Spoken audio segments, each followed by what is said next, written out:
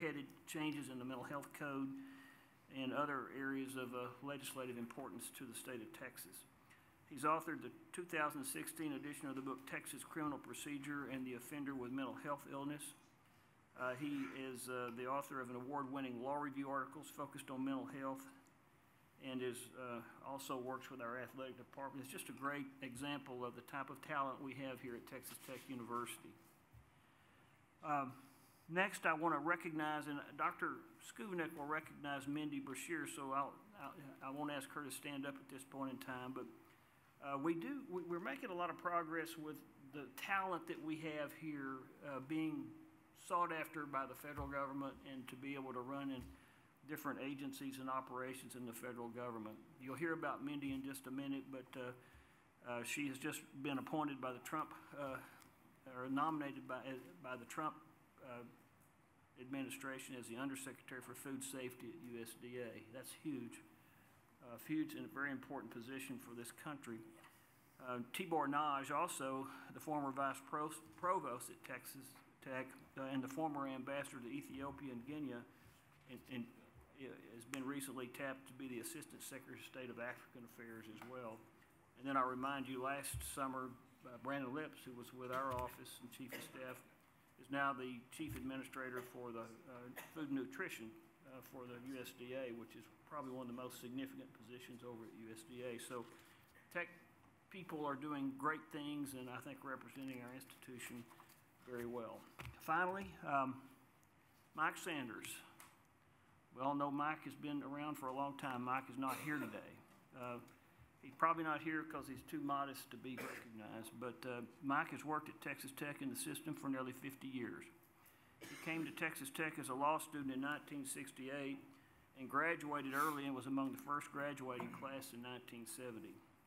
He began his career at Texas Tech as an assistant professor in business and then went on to establish a private law practice. I think he did a little time with the former Chancellor Hance as well in his law practice. In 75, he started his longstanding work in governmental relations for Texas Tech. That was when Bill Parsley was still around. In 1996, he became the first vice chancellor for governmental relations when the system was formed, and that was a position he served in until 2013. Mike played an instrumental role in the formal establishment of the system by the state in 1999, and most recently, he's been our senior advisor for governmental relations. Mike is quick to give credit to others, but he has been instrumental in our growth and success in the legislative process across the system. He's devoted his life to our students and institutions. He has been a hallmark of the system since we were founded, and at Texas Tech 20 years before. Uh, we're intensely grateful to Mike. I personally am. Mike was kind of a, when I started in the legislature, he was kind of a mentor uh, to me. Uh, and Mike had, had, a way of not mincing words. He was, uh, but he knew the history and knows the history of a lot of the things that have happened at Texas Tech University uh, through the legislative process and here on campus. And he'll be missed in retirement, but I hope he keeps his cell phone on because we'll certainly be calling him for advice. Um, so uh, Mike is retired as of, I think, the last of this, or first of June, and uh, we wish him well, and uh, we want to honor him uh, with, for his past service to Texas Tech. That concludes my remarks. Mr. Chairman, uh, members of the board, the first person I'd like to introduce is Dr. Mindy Brashears. Uh, Dr. Brashears is a professor of food microbiology and food safety in the Department of Animal and Food Sciences with the Texas Tech University College of Agricultural Sciences and Natural Resources. Uh, as Chancellor Duncan just mentioned, President Donald Trump has recently named her, nominated her to be the next USDA Undersecretary for Food Safety. She's also a, a member of the National Academy of Inventors, in which she's a fellow, and she's a worldwide expert in food safety issues, both in pre harvest and post harvest environments. She's a director of the International Center for Food Industry Excellence at Texas Tech. Dr. Brashears actually received her bachelor's degree from Texas Tech University in food technology, and in 2016 was named one of the 25 future icons by, by, by National Provisioner, a national publication that focuses on the meat processing profession. Congratulations, Mindy.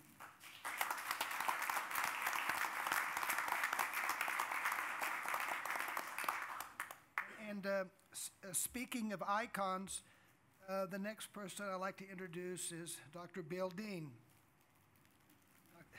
Dr. Bill Dean has been the executive director of the Texas Tech Alumni Association for more than 40 years. And he has recently um, uh, retired from that position, but he will continue teaching public relations in the College of Media and Communication. A few weeks ago, at our Length of Service Awards, uh, Dr. Dean was given a 55 year pin. And um, a very spontaneous standing ovation from all the faculty and staff who were there. And you know, when you can work here for 55 years and you'll still get a standing ovation, that says a lot about you. um, as a marketing student and baseball player, Bill served as a student body president when he graduated with a bachelor's degree in 1961. He spent uh, six years in the U.S. Army and then worked for the uh, Lubbock Independent School District before returning to Tech to get a master's degree in secondary education.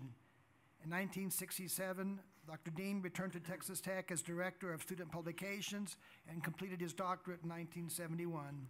He has served in numerous roles within the College of Media and Communication and has impacted countless students. And in 2017, the college presented him with its first Lifetime Service Award. Thank you, Dr. Dean.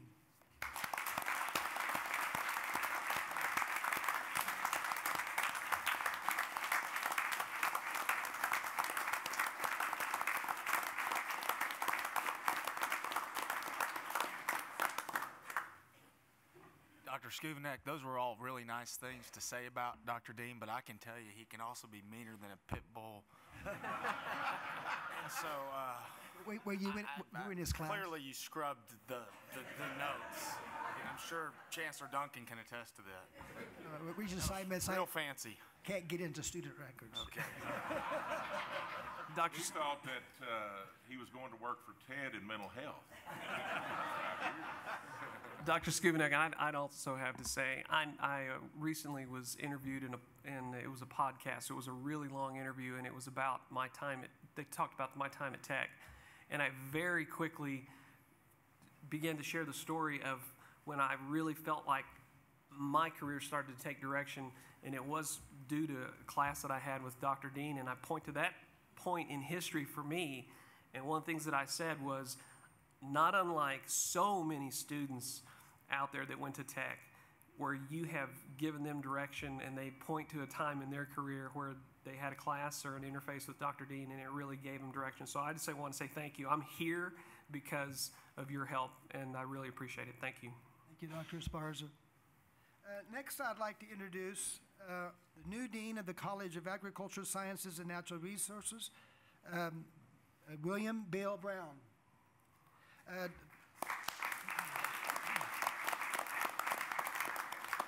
Dr. Brown uh, previously served as the Dean for Research and was the Director of the Agricultural Experiment Station within the Institute of Agriculture at the University of Tennessee.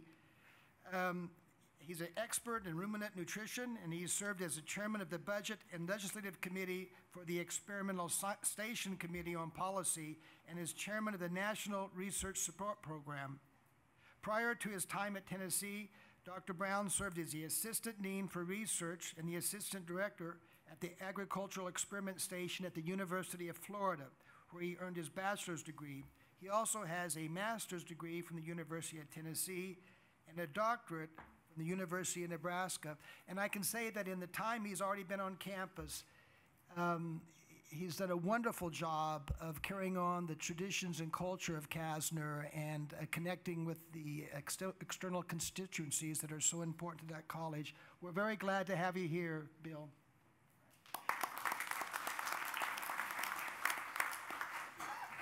Next, I'd like to recognize the Knight Raiders chess program.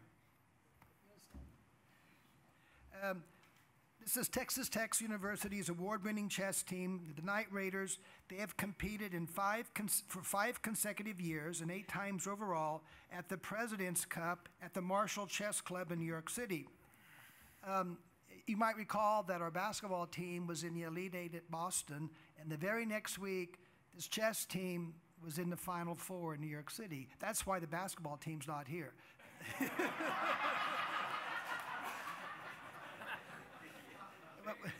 Uh, this year, uh, this year, the, Coach Beard, I didn't mean that. this year, the team. This year, the team placed third of the championship, which is also known as the Final Four. Grandmaster uh, Alex Onischuk, serves as the head coach and the program director, and has been ranked as one of the top 100 players in the world for the past 20 years, and was inducted recently into the U.S. Chess Hall of Fame. That was just this past April. Uh, Coach Onischuk is joined here, here today by members of the chess team, Women's International Master Irene Andrinko, Women's Candidate Master Claudia Munoz, International Grandmaster Andrea uh, Baryshpolets, and International ba- uh, Master Jack Sheptimbul, well, sorry, Jack, Sheptimbulak, um, and International Masters Luis Torres. There's a wonderful group of students that do a great job of representing Texas Tech University.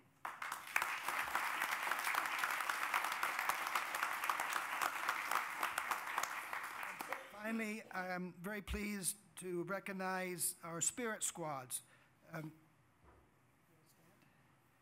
and the Texas Tech Spirit Program has a lot to celebrate this year. The Pom Squad won first place in jazz and Pom, and Texas Tech Cheer placed third in co-ed cheer at the 2018 Collegiate Cheer and Dance Championships in Daytona Beach. This is the second consecutive year the Pom Squad has taken the national title for jazz. The all-girl Cheer Squad placed in top four for the second year in a row at the 2018 College Stunt National Championships in Lansing, Michigan, and head coach Bruce Beals was named Coach of the Year. After winning second place in the co-ed partner stunt competition at the 2018 College Cheerleading and Dance Team National Championship, cheerleaders Sabrina Garcia and TJ Ollison were named to the 2018 co-ed U.S. national team. They went on to win gold with the team at the 2018 International Cheer Union Cheerleading Championships in Orlando. Bruce, Sabrina, and TJ are joined by Pom Squad head coach Aaron Harold, Spirit Program Director Stephanie Rode, and Pom members Alyssa Cisneros, Shannon Rockwell, and Dominic Franco. Congratulations.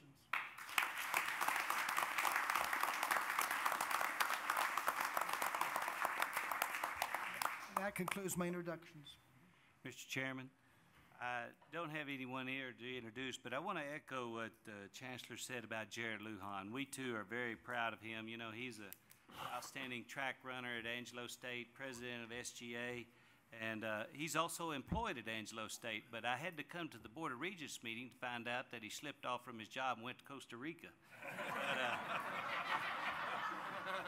When you go out of the country, you're supposed to have president approval. I'm going to go ahead and post approval. It's kind of like getting a name before you get it approved. he, he's following he's followed the lead, so we're going to go with that. But we are extremely proud of him, and I want you to know we we appreciate it. And uh, he gave us these cubs. He's from out in far west Texas. That you know that land's so tough out there. Blue quail won't even fly over it. But uh, it's a he's he's a good man, and we're we're lu- we're lucky to have him. We have some young students here today too. They'll introduce themselves, but we're very proud of them as well. Thank you, Mr. Chairman. Awesome. Mr. Chairman, thank you. I just want to tell Dr. May, all that he's doing is following in the, the long-standing ASU tradition. It's easier to ask forgiveness than permission.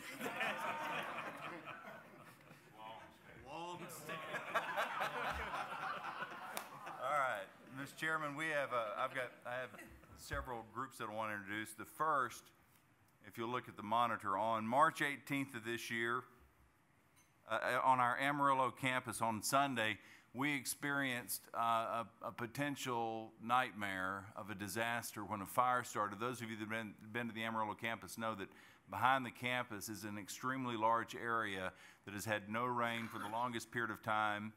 Uh, and a fire started back there and quickly just engulfed the entire area.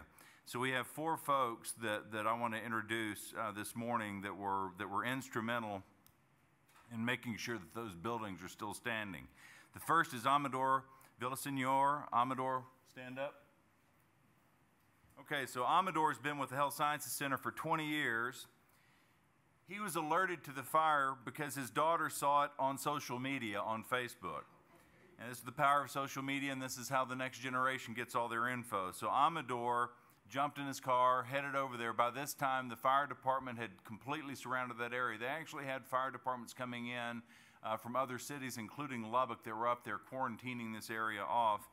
Amador had gone up there so quickly, he did not have his badge. They weren't going to let him through. And when they saw the sticker on his car, he says, I've got to get in there. I've got to get into the campus. They finally let him through. And so he went in to help direct our efforts to make sure that our own property didn't get burned up. Uh, we have Robert Griffin with him. Robert is one of our tradesmen and facilities up at, at the Amarillo campus, and he was listening to the radio and he heard that Tech was on fire. he thought, however, on that same day, because Texas Tech was playing Florida in basketball, that it was because the basketball team was doing so well, and we did wind up, wind up winning that game 69 to 66. But then when he listened to the news a little bit further, he realized that no, they literally meant Tech was on fire. So he also uh, hurried up to the campus. We then have a father son team, Michael and Hunter Corona. Stand up. Uh, Michael started with Texas Tech in 2012 and uh, has been with us. And what happened when, uh, when he found out, it was because his son Hunter uh, had also seen it on social media. So Michael was in the car with his wife, and he jumped the curb to get up there, and his son Hunter is telling him where he needs to go to shut off the water, or, or to turn on the water back behind all the buildings to get the water going everywhere for it. And so Hunter had the opportunity, probably for the first time in his life, to tell his dad exactly what to do and, and where to go. And uh, so, anyway, these guys represent the, the tip of the spear for a group that, when everybody else was running to get away from this, they were all running toward it. And had it not been for the work they did, we really, we literally wouldn't have this. So, where's Harry Slife? Harry's back here somewhere? Even with the work they did, it wound up costing us a couple hundred thousand bucks to go through and get everything cleaned out. But the soot that was covering up everything, the smoke that was covering up everything, you can't tell from this perspective, but this is taken from across Coulter, across the street at uh, Northwest Hospital. The, the smoke was so thick that they were evacuating people across the street from us. So it absolutely covered up everything. But this is the perfect example of the people that we work with that make our job so easy. So I want to recognize these guys.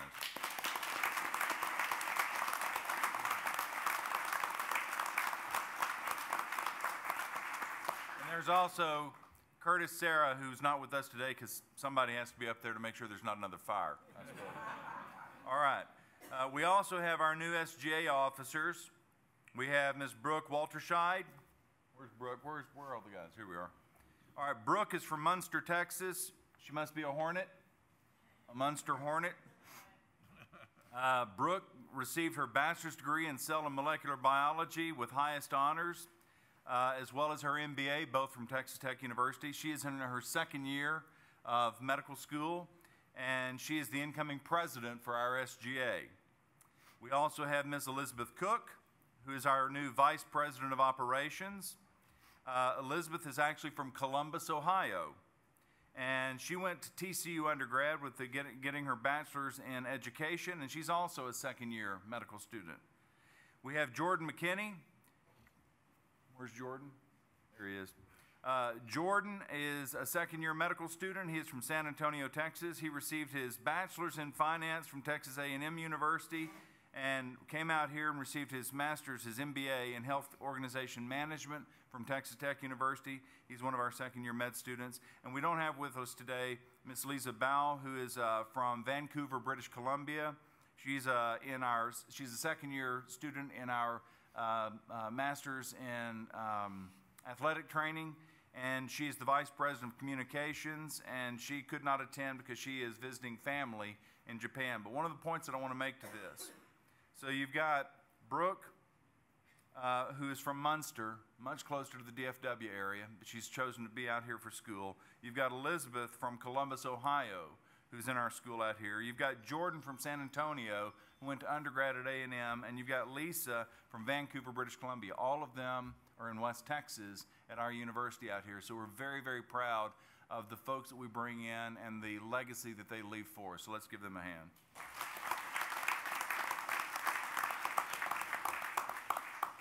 And, uh, and then I, I guess y'all are going to do your talks later, right? Okay. Uh, the, the, the last introduction I have is Mr. Kano McQuinney. Most of you know Kano. Kano is returning home. Uh, Kano grew up in Jamaica, and he came to the United States in 2001 as an international student. Uh, he received his undergraduate education at Lipscomb University in Nashville, Tennessee, where he received his Bachelor of Arts magna cum laude in political science with a minor in international studies and French. And this gets to what you were saying just a while ago, Mr. Sparza. We're all here because of interactions we've had with folks before us. I'm here because somebody told me at one point, son, you need to figure out something else to do. and your life just changes after that. Uh, so Kano went from, from Lipscomb to Pepperdine, uh, and at Pepperdine he received his master's in public policy. Uh, Kano was in my office for many years before moving to Missouri, where he went with his wife after she received her doctorate.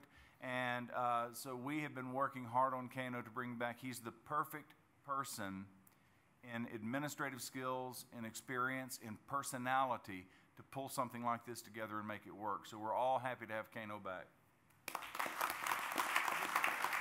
And and Kano's position is what?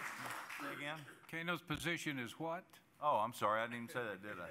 Kano's position could be anything we'd want it to be. He's the executive director of the Texas Tech Mental Health Institute. The Texas Tech Mental Health Institute's alive?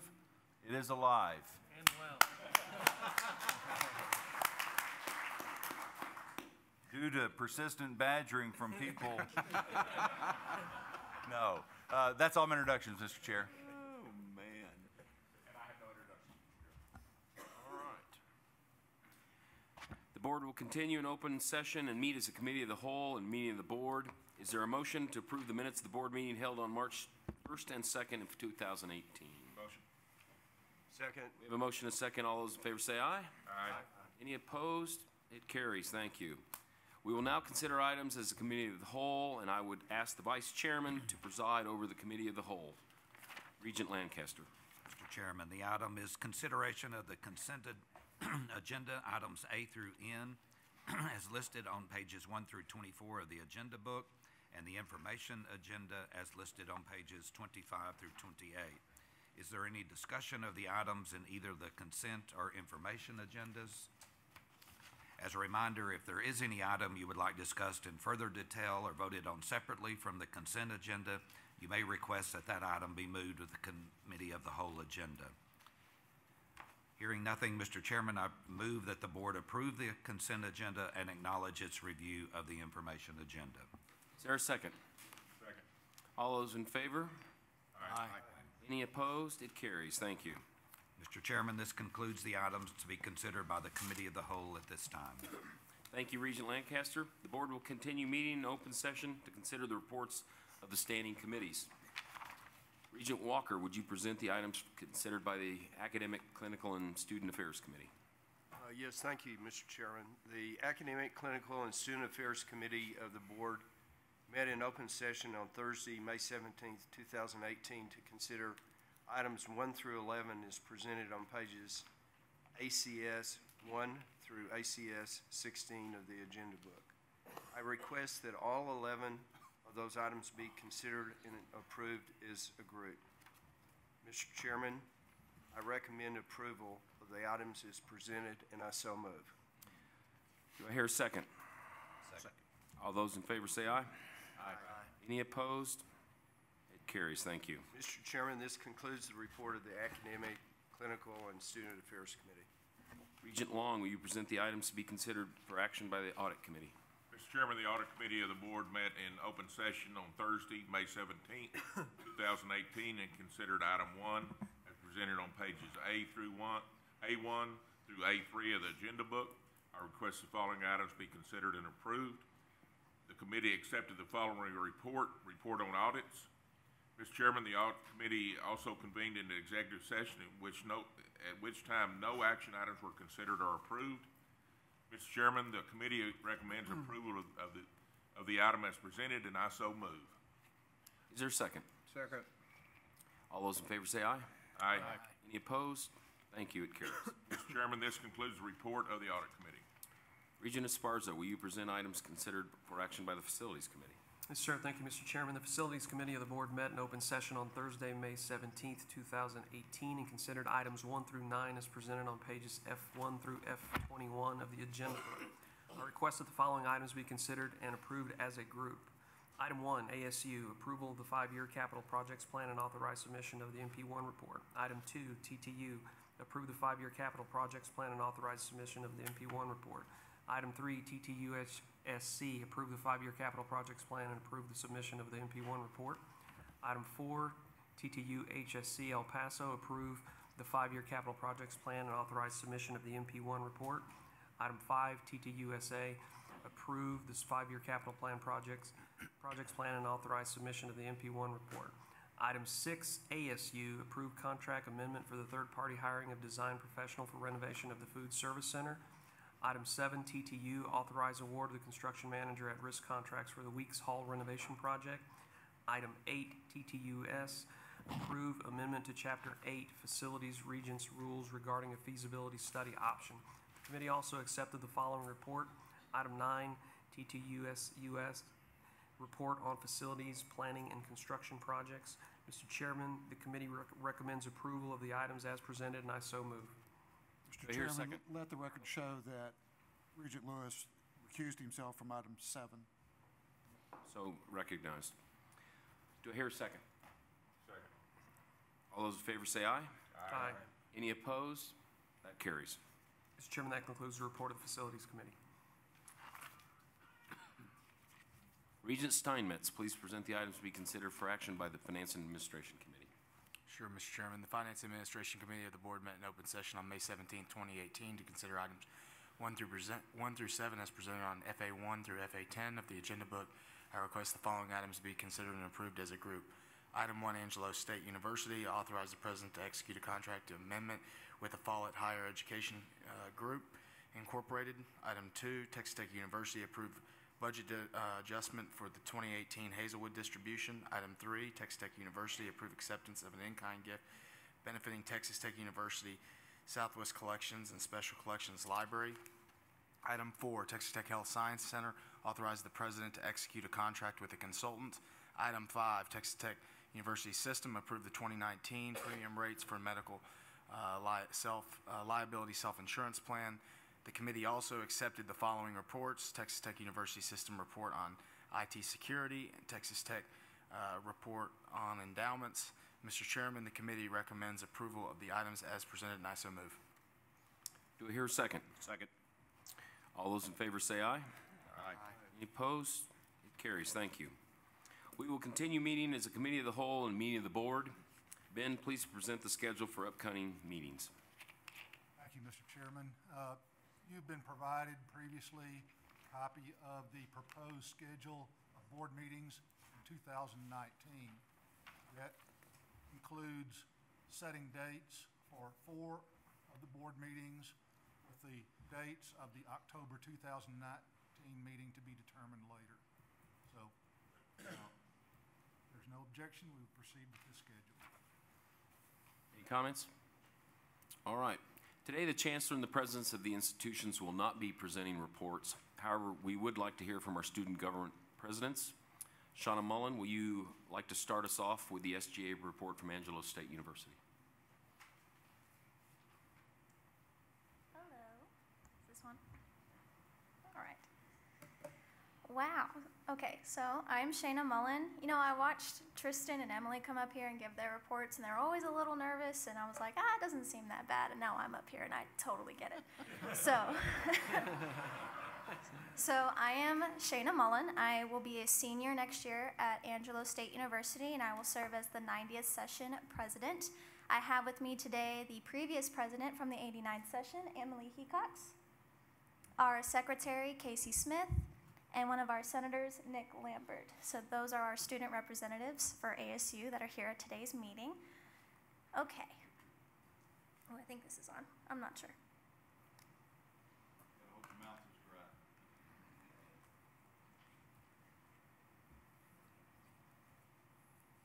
go to the next one. They're coming, they're coming to the rescue, hold on. We had the same Thank problem. you. Scrambling. All right. Scrambling inside there. Happened yesterday too to the chancellor, so don't worry about it. That's okay. It's all good. And we have a new IT guy, is that right? So, just to go over a few things that happened in the 89th session, um, we got filtered water fountain stations uh, on ASU at a few buildings, and we're hoping to expand that project during this session. Um, this was a goal of ours for the students. It was really the students really wanted to see it to reduce um, them having to buy a bunch of a bunch of plastic water bottles and cases and cases upon them that they just stick in their dorms, and this allowed for them to just walk out and just refill whatever jug they have, and it was really helpful for the students. We also hosted a night walk um, where members of the student government and Dr. Flores walked around campus to point out any light fixtures that needed repair or any um, dark spots on campus that we felt like needed to be lit. Um, our student discount program has over a hundred businesses on it now. Um, it's just local businesses around uh, San Angelo now offer discounts to ASU students, and that's a project that our PR committee has been working on, and we're really proud of it for how much it's expanded. Um, we've also had an end of the year 5K um, to help promote health and wellness for our students here on campus, and that ended up being a very big success. Um, one of my favorite events, the Rammies, was a huge success this year, and that's just recognizing all the successes of all of the student organizations on campus, and you're going to see a couple pictures from that on the next slide. And there's a lot more that happened during the 89th session, but this is just a brief overview. We also had a couple of guest speakers, which was really exciting. Our, my vice president, uh, Braden Woods, who could not be with us today because he's actually interning in DC for Mike Conaway's office but he's real big into um, getting students politically involved, um, especially since uh, we are the future um, for the United States. So he was able to get the state senator Kel Seliger to come visit our campus. He's the chairman for the Committee of Higher Education for the state of Texas, and that was really awesome. Um, he got to sit down and with the executive officers and members of the administration and have a dinner with us, and then come to our uh, meeting for student government and answer any of the questions that our students have involving higher education in the state of Texas.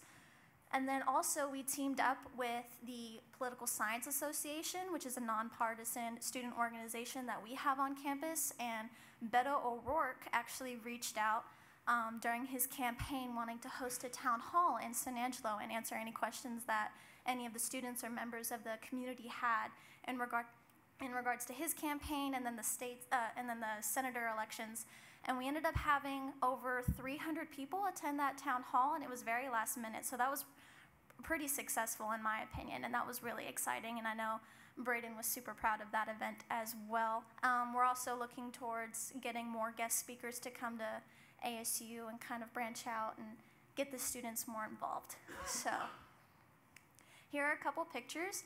Um, you can see Kel Seliger right there. Um, these are all three of him. He got to tour our new nursing building and see all of the new tech that's gone in with that because that's um, a project that we're really proud of at ASU. He got to talk to our student government, and then there are all of our executives. And then we got to take a picture with him. And then you can go to the next one. Um, up there on the left, you can see uh, Beto O'Rourke and the Political Science Association and a couple members from SGA um, during the town hall. And then these other two pictures are us dressed up for the Rammies and how big of a success that was. And we were super excited for that. Okay, so for the 90th session, my biggest goal is to focus on the students because I really feel like any successful campus um, and anything like that really comes from the heart of the students and how they feel about campus and their school spirit. So, um, I understand that uh, improving school spirit and really making sure that students feel at home on campus is what's going to help with recruitment, it's what's going to help with retention, it's going to help with um, student success. So that's really my focus that I'm going to be having for this session. Um, my first project is Ram Jam tailgate that we have. Um, everything on campus is great, um, but I always feel like there's room for improvement. There's always room to make anything on campus better, even if it's good and even if it's great. So tailgate, I was able to get a members of different student organizations, Greek Life, ROTC, AMAS, all of these um, student organizations, and have a roundtable with the Alumni Center and kind of give them student feedback as to what they would like to see um, improved at Tailgate because it's a huge recruitment opportunity for student organizations.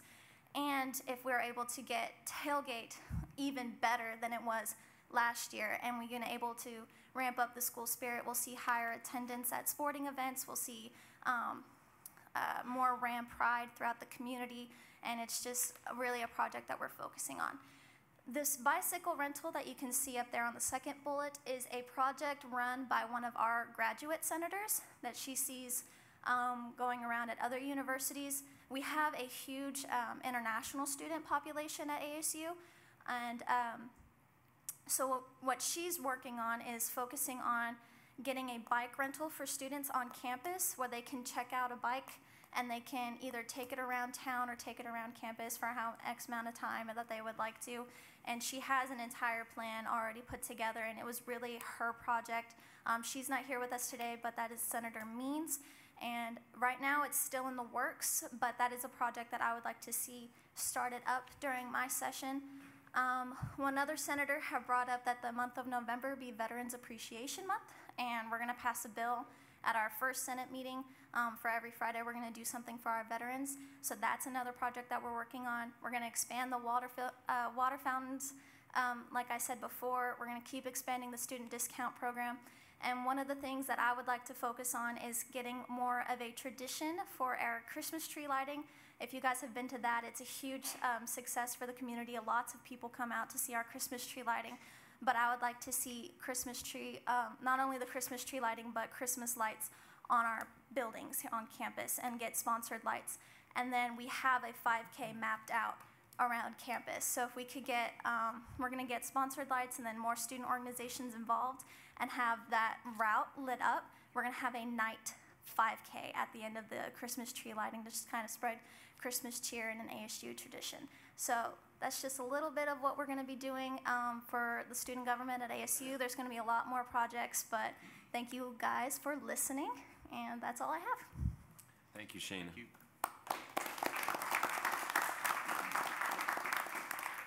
Sean Lewis, would you give the report for Texas Tech University? Sean, sir. before you begin, can I make a comment? Absolutely. You know, if, if I was as thoughtful as Tedd Mitchell, I would have recognized you as the new SGA president. But um, Sean uh, is replacing Robbie Myers, who did a wonderful job. And Sean was on the leadership of the SGA, and we couldn't be more pleased that you're now the president. Thank you, President Schovanec. I appreciate that. The key word in that, Sean, was if. He is in my heart. All right. Uh, Chairman Francis, members of the Board of Regents, Chancellor Duncan, President Schovanec, and Provost Galyean, uh, thank you for this opportunity to address you here today. Uh, it is my honor to serve as the student body president for Texas Tech University. So I would like to introduce the new officer team. We have uh, myself, Sean Lewis. Well, like I said, I'll serve as student body president. Uh, my external vice president, Jude Al Hamoud. Uh, none of the executive officers could be here today because they're doing internships. Um, Jude is actually in Washington, D.C., preparing for an internship with the White House. Um, and then Amber Ackley will serve as internal vice president, where she's in the DFW area working for a construction management company. And John Getz is the graduate vice president. He served last year, ran for reelection, and he will be doing an internship in Chicago with EY. And they will be here at the next board meeting to introduce uh, them to you all. So just a few of our initiatives that we plan on focusing for this year uh, is working with Dr. Opperman on the issue of undergraduate research. Um, when we think of undergraduate re- research, a lot at the uh, undergraduate level, we think of test tubes and lab coats. And we'd like to change that notion to get service learning incorporated in the classroom and outside of the classroom, both on Texas Tech's campus and the city of Lubbock, and fostering a strong partnership between all of those, uh, all of those groups.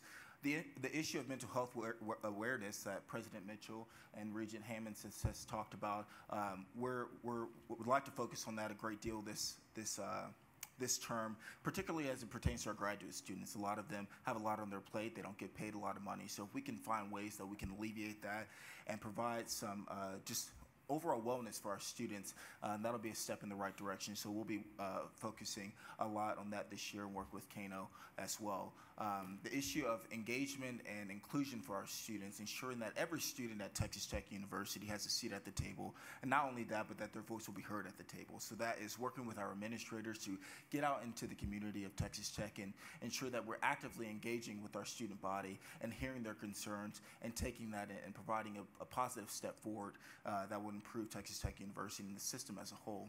Uh, transportation services, we're proud to say that we uh, worked with Citibus to get bus tracking implemented, and that is now live for our students. So they no longer have to wait outside in the unpredictable Lubbock weather uh, at the bus shelters. They can see exactly when their bus is coming, so they can walk from their apartment complex right out to the bus when it pulls up, and they can make their way onto campus without being drenched or have dust from our wonderful haboobs uh, here in Lubbock. And um, as well, we are uh, looking to get a bike rack and bikes, uh, bike sharing system on our campus. And this will not only help um, all students, but particularly our international students who use bicycles to get around um, as well and then the uh, Zipcar service. So Zipcar, if you don't know, is a way that students can share cars and really people in the Lubbock community can share vehicles. Um, it'll be parked at a dormitory somewhere else on campus and you can go check that car out, use it for a day, a couple of hours.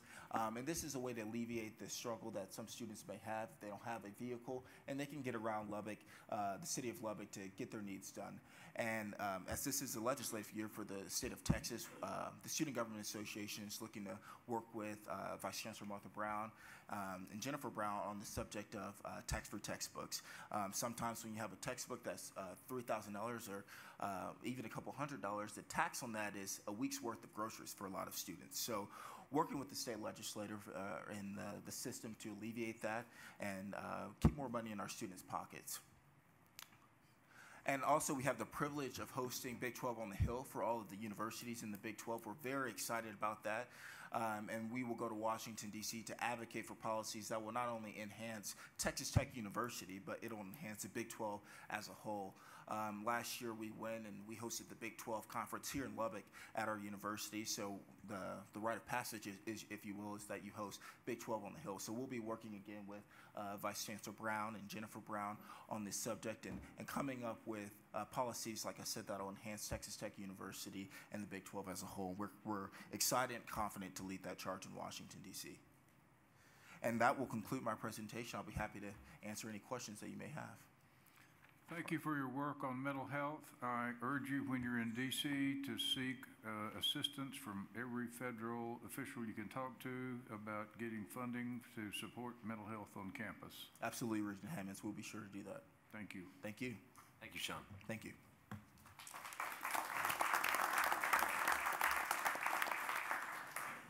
So, Austin, uh, you want to come up? I don't know if you or Brooke or who, who's going to give the report for our HSC Lubbock. So Brooke is actually going to give the report. I just thought that I would come up here and uh, short and sweet um, say thank you to all of you for this year. Um, I was trying to think of what I wanted to say, but there are very few words that I could say um, that shows how much this position has meant to me this past year. Going to Texas Tech um, during undergrad and then now getting my medical degree from the Health Science Center uh, I'm truly proud to be a Red Raider, and I'm truly proud to serve uh, not only the Health Science Center, but this system um, this past year. So I know Brooke is going to do an amazing job. Uh, she's a lot better than me, I promise. Um, but without further ado, I'm going to introduce her. So Brooke Walterscheid, uh, come and give the report. All right, good morning, everyone. So as Austin said, my name is Brooke Walterscheid, and I am honored to be serving the students of the HSC as student body president. So the first thing that I wanted to do is present some of the highlights of our past session, um, see where we can go um, going forward. So on the legislative side, we voiced support for the new VA clinic to meet veteran population needs within the Lubbock area. On the operational side, we played an integral role in being fierce advocates for student safety, especially after the events that transpired in this past year. As well, um, we accommodated for student parking needs amongst the vast construction. It's very exciting, and luckily, our students have been very flexible and understanding and are really excited to see it all come to fruition.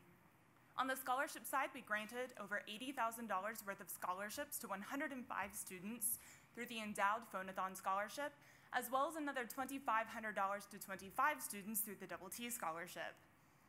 In terms of service, we raised over $1,000 for the Harris County Animal Shelter following Hurricane Harvey. Usually those funds go toward local shelters, but we felt that that entity was more in need at the time. We also met our student fundraising goal of $5,000 loftily set by President Mitchell um, for the Mar- March of Dimes. And we also established a permanent partnership with Family Promise Lubbock, providing some much needed continuity and mentorship for the youth that are within that program. In terms of student funding, we allocated over $86,000 to support over 60 student organizations. So I know that President Mitchell already uh, gave a brief introduction of the officers going forward, uh, but I just wanted to rehash that one more time to tell you a little bit more about them and some of their goals for the upcoming year. First, for our Vice President of Communications, we have Lisa Bao. She is a rising second year Master of Athletic Training student. Again, she is from Vancouver, Canada. She loves to play and watch sports, follow the NFL. Uh, she enjoys traveling, as she is in Japan right now, and considers herself to be a big foodie. Her goals for the year include improving both internal and external communication for the organization, increasing student engagement with SGA, as well as enhancing awareness of SGA on campus. Next, we have Vice President of Finance, Jordan McKinney. Jordan is a rising third year medical student of the class of 2020. He additionally completed a master's in business administration with a concentration in health organization management and is a Lean Six Sigma Green Belt. So we put the right guy in charge of our money. Um, he is from San Antonio, Texas. When he's not studying for his upcoming board exam, you can find him playing soccer, hiking, and investing. Again, we put the right guy in charge of our money. His goals for the year include increasing organizational transparency, engaging with both the community and the HSC, as well as developing senators' leadership. Next, we have our Vice President of Operations, Elizabeth Cook. Elizabeth is also a rising third year medical student of the class of 2020. Um, she comes from Columbus, Ohio, when she also isn't studying for her upcoming board exam. You can find her baking, swimming, and traveling. And her goals for the year include making SGA a more visible organization, as well as fostering a positive student learning environment. And again, my name is Brooke Walterscheid. I'm honored to be serving as president. I am just finishing my first year medical school. I know President Mitchell said that I was a second year, but I've still got two weeks and two more tests to go through until I get to that point. Um, I additionally completed a MBA with STEM concentration here at the Rawls College of Business. I'm from the metropolis that is Muenster, Texas. Um, for those of you who don't know where that is, um, it's in North Texas, and yes, it's just like the cheese. Um, when I'm not studying, I enjoy hiking, spending time with my family, watching, playing sports, and reading. Some of my goals for the upcoming year include increasing student awareness of SGA. So I want every student on the HSC campus to know what SGA is, excuse me, and what it can do for them. I also want to better demonstrate SGA and HSC offerings to students, whether this is as simple as we have free coffee in the library, or what mental health services can do for them, or what student legal services can do for them. I want students to know that they are supportive, um, supported, and that we have offerings to give them to help them in their success. And lastly, I want to foster a student working environment that is accommodating and inclusive. I want our students to feel that the HSC is the best place for them to grow and to learn and to become their best selves. So that is all I have for you today. I thank you for your time, thank you for your support, and we look forward to get the ball rolling in the next year. Thank you, Brooke. Thank you.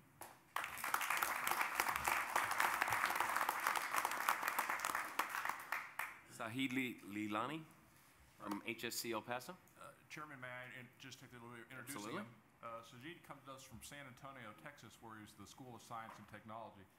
He was a National Merit Scholar finalist, got his uh, Bachelor of Science degree at the University of Texas in Austin, came to us where he joined the class of 2020, getting his MD and his MPH. And like uh, Brooke's previous uh, uh, introductions, he was also the Vice President of Finance for the Student Government Association last year. He assumes that role as president. We're glad to have him present on behalf of the Health Science Center. Welcome, Sajid. Thank you, Dr. Lange. Uh, good morning, everyone. Uh, like Dr. Lange said, uh, my name is Sajid Lilani. I'm a third year at uh, the Paul Foster School of Medicine. Um, first off, I just want to thank you guys for your time uh, and also for your works for the Texas Tech system. It really means a lot to everybody. There we go. Um, so just want to talk about our last event for the year, this past year, and that was our SGA Awards ceremony. Um, and this is just uh, this is our second time having it, and it's just an event where the students can nominate and vote for faculty, um, staff, and students at the TTO, that are part of the TTUHSC El Paso family um, that we feel go above and beyond um, in terms of uh, helping us succeed. And um, these are actually some uh, recipients. This is Matthew Ramirez, a graduating student from the School of Biomedical Sciences, and Dr. Raj Kumar Lakshmanaswamy, who is the Dean of the Graduate School of Biomedical Sciences. And if you haven't heard Dr. Raj's lecture on steroid hormone synthesis, you really haven't heard a lecture on steroid hormone synthesis. I'll promise you that much. Um, so, in addition to that, we also inducted the new officers for the upcoming year. Um, they're all very dedicated members of the SGA, and I'm very much so looking forward to working with them. Um, so I just wanted to talk about our next big upcoming event, which is the Corazon de Oro, or Heart of, Heart of Gold uh, Volunteer Day. Um, and this is just a day when uh, students from all three TTU HSC El Paso schools um, can come together and give back to the community that really gives our campus life. Um, so this past year we had over two, around 200 volunteers, and we're hoping to expand uh, to around 250 volunteers. Um, and just to give you an idea, we volunteer at sites across El Paso, such as the Humane Society, uh, Special Olympics, Salvation Army, uh, Gigi's Playhouse. I think we had the El Pasoans Fighting Hunger Food Bank, uh, Habitat for Humanity. I myself have personally volunteered at the Special Olympics site. We did sports physicals for those athletes, and you know it's really it's a really good feeling. Um, and in terms of service, I also wanted to mention that this past year, students just from the Paul Foster School of Medicine gave over 23,000 hours of service back to the El Paso community. Um, and that's from our SCI service learning program, which track those, tracks those hours. Um, and that's not including the nursing or the graduate school. Um, so, you know, that number as a part, in, in terms of the TTU HSC El Paso campus as a whole, um, is actually probably greater. Um, and for, for me, it's just, uh, you know, we're very proud of the service that we give to the El Paso community, and we hope to continue that excellence in service this year and into the future. Um, in terms of the upcoming year, we really want to increase participation and just increase the cohesiveness of the campus. That's really our main goal. I mean, that's what the SG has been trying to do. Um, and so the first thing is uh, we want to increase nursing and graduate school participation in our intramural sports programs. Um, we have, for the past few years, we've had intramural sports programs that are run by students um, at the medical school. And this past year was actually the first year that we incorporated um, the nursing and the graduate school. And so it was a huge success, and we just want to expand upon that. Um, the second thing is uh, we want to implement a new welcome event for the new TTU HSC El Paso students this upcoming year uh, to sort of supplement the student luncheons. So at the end of last year, some of the uh, senators from the graduate school um, had expressed interest in a college system that we have at the School of Medicine, which is they basically break the school down into four four small groups and they compete in service and also in fun events like a field day or something like that. Um, and so they wanted to get involved with that. So we figured why not, you know, make an event as part of the SGA um, that we can have everybody come together um, and really, you know, have a good time, uh, get to know each other. That way, when we have our holiday luncheons, you know, when the, the whole TTU HSC El Paso campus comes together to celebrate, you know, Christmas, Thanksgiving, um, seeing their friends from the other schools that they may not get to see on a day-to-day basis, and really just foster that sense of community, um, no pun intended. And um, we also want to expand upon the success of the uh, our MLK Junior Day of Service. This past year was our first year having that, um, and it was a great success. We want to continue to expand that day um, and hopefully uh, grow it to be as big as the Corazon de Oro Day, so we can have you know two big days of service uh, throughout the year. And then lastly, I just wanted to talk about graduation. Um, tonight is actually the commencement for the uh, Paul Foster School of Medicine, and um, tomorrow are the ceremonies for the School of Nursing and the School of uh, Biome- the Graduate School of Biomedical Sciences. Um, and we are very proud of all of our graduates this year. Um, we know that they are all going to go into the healthcare system, and they're going to be leaders, innovators, and the standard of excellence. Um, so this is actually a map of the graduating Paul Foster School of Medicine class um, and where they're going to be going for residency. Um, and we had a very successful match this year, which for uh, such a young school is very impressive. I mean, we have students doing neurosurgery in Indiana, Washington, D.C., uh, dermatology in San Antonio, ophthalmology in New York, uh, orthopedic surgery in Phoenix, Arizona, uh, ENT in Galveston, I mean, I can go on and on. And then, you know, the most important ones we have, you know, students doing pediatrics, family medicine, and internal medicine here in Lubbock and also at the Amarillo campus. Um, and then we have four students doing um, pediatrics, psychiatry, internal medicine, and emergency medicine um, at, the, at the El Paso campus. So they're going to be staying to serve the community there. Um, and we're very proud of them. And, you know, the success first and foremost goes to the students.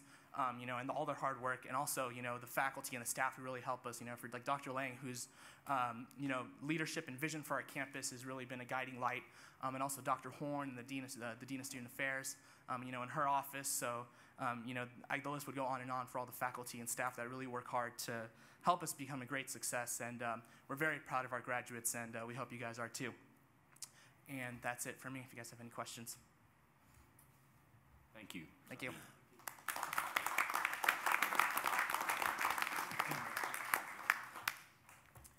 So before we break for uh, executive session, I'd like to take a moment first to recognize two guests we have in the audience, Tina and Johnny Lujan. They're here today to support their son, uh, Jarrett, who has done really a, an amazing job this past year as our student regent.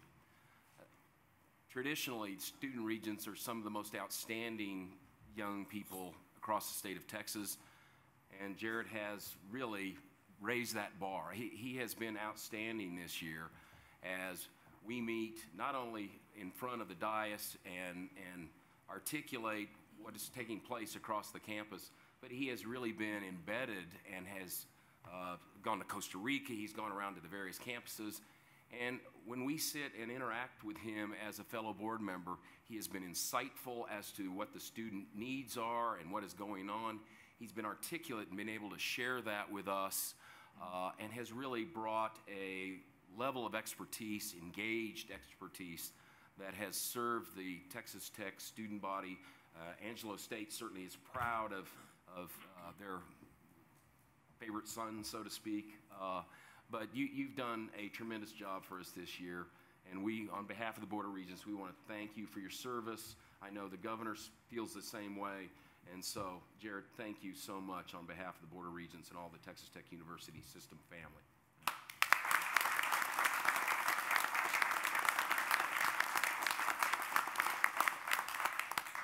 Thank you so, thank you, sir.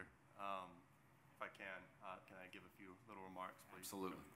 Um, wow, you know, it, it's so ins- it's so incredible to me that a, a whole year passed by. You know, um, I'm so humbled and grateful for the opportunity that this uh, position has given me um, to be the university system student regent. Uh, on April 26th, I was appointed as a 12th uh, TTU student regent by Governor Abbott and was officially sworn in on August 10th. Since then, my life has forever changed, and I truly understand the importance of public education and the difficult decisions that everyone in this room faces every day, and managing funding, facilities, and programs for the benefit of all of our students. It's not easy. I've watched it all from each one of you, from the way you approach situations, from your thinking, the, the line of your thinking, how to debate, how to concede, and how to collaborate for the good of the system. Um, and I'm so proud to be a part of the University of uh, the Texas Tech University system. Um, I can tell you that I wouldn't be the leader that I am today without the influence of my family and the community of Marfa, Texas. But I really want to speak to Angelo State University and the significance it's played in my leadership skills. In 2012, I was fortunate enough to be recruited by former ASU track and field head coach and now athletic director James Reed. And mind you, I'm coming from a small West Texas six man school with no track and a state of the art facility program to being at one of the top facilities uh, in the conference. And there was, uh, there was a big uh, focus on academics. His, his policies was no pass, no play, and Coach Reed made no exceptions at all. Um, student athletes learn how to manage their time more and impor- importantly learn that the mind is the most powerful thing. If you set your mind to it, um, you, your body will adapt to it. Um, he was very supportive of me of being student uh, body president and as being an NCAA, NCAA athlete and was proud that I was one of his athletes as well in that leadership role.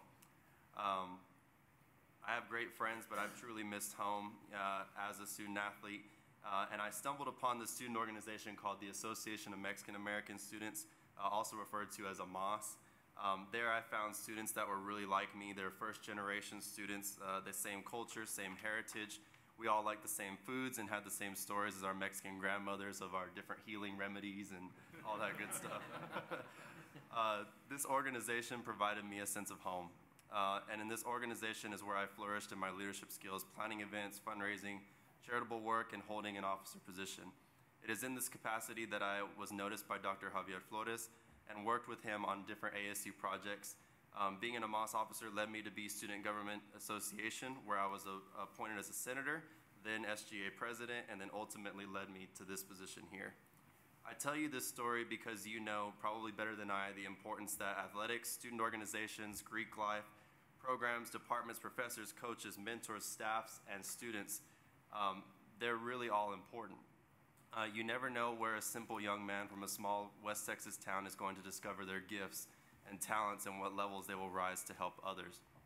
So if, I can, if you can take anything away from this, please seek to inspire the students around you. Um, I know all of you are extremely busy because you all do such an excellent job, but please take the time to talk to your student leaders and student workers. For me, it all started with a simple, empowering conversation. Once someone told me, You can do this, and I believe in you, I became energized and determined. I dreamed of this opportunity, and I'm still in awe that I accomplished it. Uh, Angelo State University was a perfect fit for me, and I thank God every day for leading me here and placing good, influential people in my life, like Dr. May, uh, Dr. Javier Flores, Dr. Klingeman, Clint Havens, and Heather Valley Brown. I know all of you know the greatness of Angelo State, but I wanted to, you to hear it directly from me that I would not be the man I am today without the university um, that it provided me, all the opportunities the university provided me. I'm not only continuing my education and working on my second master's degree, but I am also a full time employee as a coordinator for multicultural and student activity programs, where I'm fulfilling my dream of helping students achieve their dreams and shaping their leadership skills. I've been able to experience so many amazing things as student regent, and I made it a point at every advantage to take, an, to take another student along with me. The many experience afforded me to this role, most students will never experience, which is why I always tried to bring another student along with me, and each student was extremely grateful for this opportunity. I wanted to sincerely thank each, of, each and every one of you in this room for your wisdom, your guidance, your, your guidance, your kindness, and your mentorship, but most importantly, your friendship. Mr. Chairman and my fellow regents, thank you for welcoming me into your open arms, helping me understand complex business conversations, and including me on topics of was an incredible experience. Regent Walker, thank you for being my partner in crime and always helping me out whenever I need a good explanation or just a good laugh. Uh, Chancellor, sir, uh, you've inspired me to no end. Um, though the many tasks that we ask of you and the day to day events that you have to go to, I am humbled to have met such a great man such as yourself. Thank you for always treating me like family.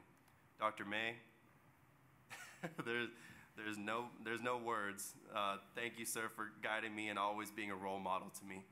Uh, you are and always have been one of the most inspirational uh, figures in my life, and I strive to one day be half the president that you are. Uh, one of my goals is to one day be in one of your seats, either as a regent, a president, or maybe even chancellor. To the next student regent, as we still don't know, uh, you are being welcomed into an amazing system and family, and you will do a fine job, and everyone here believes in you. And I'm going to read directly from the paper without looking up at my parents, so that way you don't have to see the ugliness of me cry, because I am an ugly, I am an ugly crier. Uh,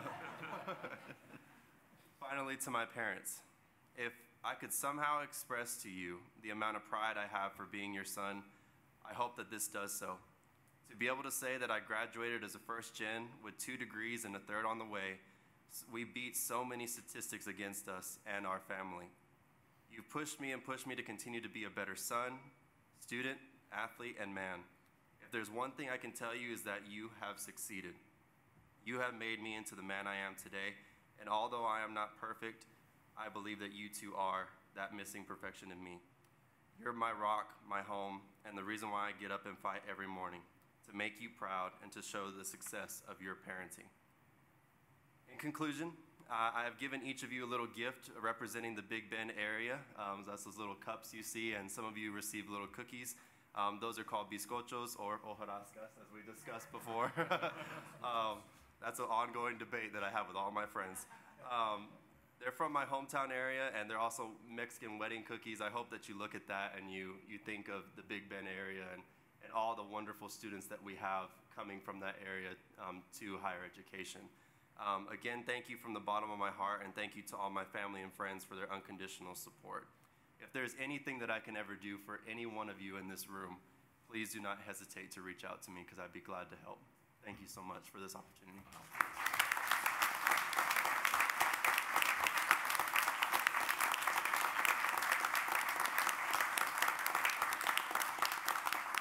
This, if this is the future of America, America's in great hands.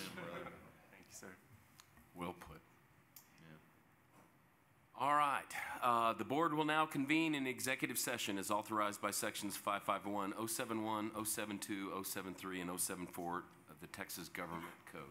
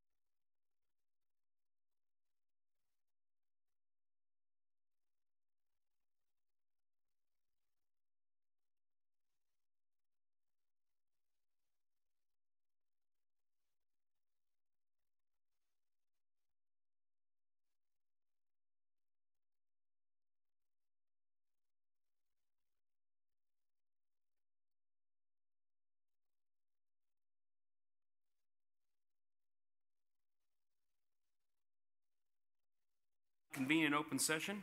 Mr. Lancaster, please present the motions regarding items discussed in executive session. Thank you, Mr. Chairman. Uh, Motion number one, uh, to authorize the purchase of improved real property located in El Paso.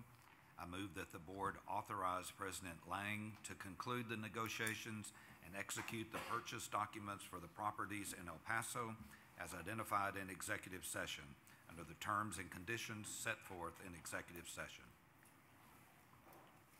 Do them all? You gonna do them all at one time? And we'll take individual, I guess. Uh, is there a motion? So moved. That is my motion. Ah. is it- There's a motion and a second. All those in favor say aye. Aye. Any opposed? Carries. Number two. All right, motion number two, to approve a transaction with Midland Development Corporation. I move that President Mitchell be authorized to execute an agreement with Midland Development Corporation relating to support of the Texas Tech University Health Science Center Child and Adolescent Psychiatry Program under the terms and conditions set forth in executive session. We have a second? Second. All those in favor say aye. Aye. Any opposed? Thank you. Motion number three, to approve a modification of an agreement between TTU, TTU HSC, and University Medical Center Lubbock. I move that Presidents Mitchell and Schovanec be authorized to modify the previously approved agreement with University Medical Center of Lubbock relating to the use and maintenance of 10th Street in Lubbock under the terms and conditions set forth in executive session. Is there a second? Second. All those in favor say aye. Aye. Any opposed? Carries. Thank you. Motion number four, to ratify the employment contract with the head coach of the TTU Women's Basketball Program. I move that the board ratify the approval of an employment agreement with Marlene Stollings as the head coach of the Texas Tech University Lady Raiders Program under the terms and conditions set forth in executive session. Is there a second? Second. All those in favor say aye. Aye. Any opposed? Thank you. Motion number five, to approve the naming of an academic unit of Angelo State University. I move that the board approve the naming of the College of Business at Angelo State University as the Norris Vincent College of Business, under the terms and conditions set forth in executive session. Second? Second. All those in favor say aye. Aye. Any opposed? Thank you. And the last motion, motion number six, to approve an agreement with the Amarillo Economic Development Corporation. I move that President Schovanec be authorized to execute an agreement with the Amarillo Economic Development Corporation relating to a school of veterinary medicine under the terms and conditions set forth in executive session. Is there a second? Second. All those in favor say aye. Aye.